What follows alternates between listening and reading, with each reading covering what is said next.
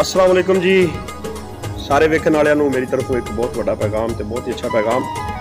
YouTube ਦੀ ਦੁਨੀਆ ਦੇ ਵਿੱਚ ਬੜੇ ਘੱਟ ਅਰਸੇ ਦੇ ਵਿੱਚ ਜਿਹੜੇ ਚੈਨਲ ਨੇ ਆਪਣੀ ਪਹਿਚਾਣ ਬਣਾਈ ਹੈ, ਉਹ ਇੱਕੋ ਹੀ ਚੈਨਲ ਹੈ star of Multan star of Multan ਉਹ ਚੈਨਲ ਹੈ ਜਿਹੜਾ ਰੋਜ਼ ਕਿਸੇ ਨਾ ਕਿਸੇ ਨਵੇਂ ਸਟਾਰ ਦੇ ਨਾਲ ਤੁਹਾਡੀ ਮੁਲਾਕਾਤ ਕਰਾਉਂਦਾ ਹੈ ਤੇ ਨਵੇਂ ਤੋਂ ਨਵੇਂ ਸਟਾਰ ਨੂੰ ਤੁਹਾਡੇ ਨਾਲ ਮੁਤਾਰਫ ਕਰਵਾਉਂਦਾ ਹੈ ਤੇ ਉਹਦੇ ਦਿਲ ਦੀਆਂ ਗੱਲਾਂ ਤੁਹਾਡੇ ਤੱਕ ਪਹੁੰਚਾਉਂਦਾ ਹੈ।